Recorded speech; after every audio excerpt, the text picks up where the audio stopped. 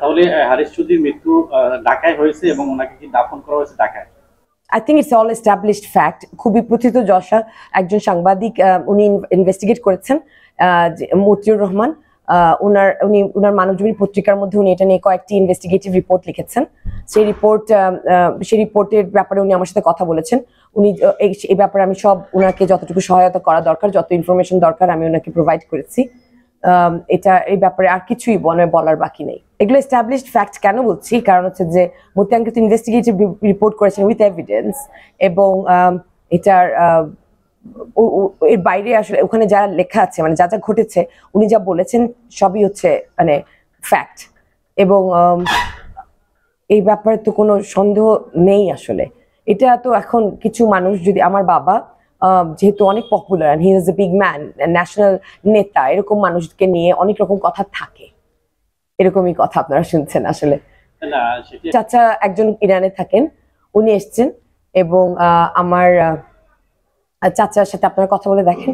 আমার ছোট চাচা একজন এখানে থাকেন গ্রামে থাকেন। ফ্যামিলি থেকে বলা হলে আমি আসলে বলতে পারব না এই ব্যাপারে। আমরা আশিস চৌধুরীর সাথে কথা বলেছিলাম উনি বলেছেন যে লন্ডনে মৃত্যুবরণ করেছেন আপনার মাধ্যমে জেনেছেন। আমি নিজে সেখান থেকে সাক্ষাৎ দিয়েছিলাম ওনার বাসা থেকে। ও আচ্ছা আচ্ছা আপনি সাক্ষাৎকার নিয়েছিলেন। আপনি এই ব্যাপারে আরেকটা ফলো আপ সাক্ষাৎকার করে ফেলেন আপনার প্রশ্নগুলো নিয়ে। আহ, আজকের প্রোগ্রামটা আমার আসলে জানা নেই। আই আই ক্যানট স্পেকুলেট আমার লয়ার অ্যাজ ইউ নো আমার বাবার এটা যেটা অনুষ্ঠানটার প্রেক্ষাপটটা হচ্ছে যে আমার বাবার মৃত্যুবার্ষিকী প্রথম মৃত্যুবার্ষিকী। এবং সেটা নিয়ে সেটা আমি অবশ্যই গর্ববোধ করে সবাইকে জানাতে হবে। সেটার জন্য তার যে ফিলান্থ্রপিক অ্যাক্টিভিটিস ছিল, কিছু গরিব মানুষকে খাওয়ানো, সেটা arrange আমরা কনস্ট্যান্টলি পুরো থ্রু আউট দিস ইয়ার আমরা করেছি এবং এখন পর্যন্ত করে যাচ্ছি এবং করে যাব ফিলান্থ্রপিক অ্যাক্টিভিটিসগুলো। আর আপনাদের সবাইকে যাতে, আমি আপ্যায়ন করতে পারি, আপনারা যাতে সামিল হতে পারেন সেটা একটা সুযোগ দেয়া। আমার বাবা পৃথিবীর শ্রেষ্ঠ বাবা। আপনার সাথে কোনো স্মৃতিচারণ, কোনো কিছু যদি এটা নিয়ে আমি পরে কমেন্ট করব। I think it's too early for me to comment about আব্বু। আমার বাবা। আমার বাবার, আমি একমাত্র মেয়ে। আমি এই, আমাদের চৌধুরী বংশ সবাই আপনারা জানেন।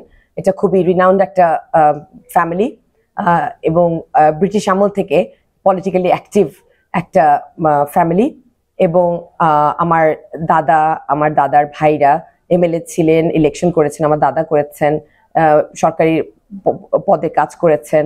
আমার বাবা দুইজন আহ, দুইজন প্রেসিডেন্ট এবং প্রধানমন্ত্রী দুইজন হেড অফ স্টেটকে কনস্ট্যান্টলি মানে সাহায্য করেছেন খুব কাছে থেকে কাজ করেছেন তাদের সাথে। এবং আম, তার এক্সপিরিয়েন্স অনেক অনেক অনেক অনেক রিচ এবং ওয়েলথি ওয়েলথি আর কি তার এক্সপিরিয়েন্সটা এই রাজনীতিতে হ্যাঁ? তো আহ, আমার I am really proud of my dad he was a freedom fighter and that is something to be proud of and speak loudly about so আমি এই জন্য বলি ফাউন্ডেশন এস্টাবলিশ করার চিন্তা ভাবনা করছি আমার গুরুজন তারার অ্যাডভাইস নিয়া।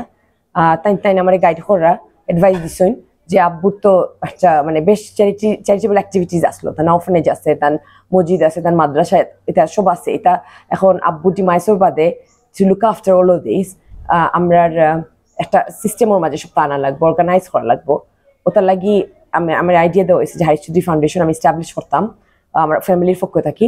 তো ওটা ওটার খামর লাগিয়ে আমি আইসি যে আমিও শুনেছি এই ব্যাপারে আমি আসলে জানি না বেশি কিছু। কিতা লাগি বা কিতা background I have no information I think he would be the best person to